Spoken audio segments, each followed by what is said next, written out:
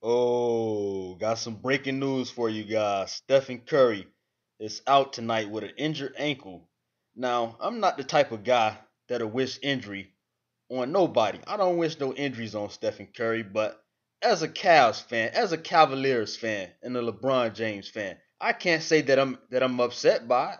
It is what it is. He's gonna miss this game tonight, and we'll see how the Golden State Warriors react without Steph Curry being in the game. We're just gonna see how good of a team the Golden State Warriors are tonight against the Houston Rockets. So um with that said, hey, it is what it is. You win or you go home. Steph Curry will miss tonight's game with an injured ankle. I believe it's more injured than what they're letting on. I believe it could be broken, it could be a bruise, or it could be a sprain. Like I said, I believe it's broke because you don't miss playoff games unless you're seriously injured, man.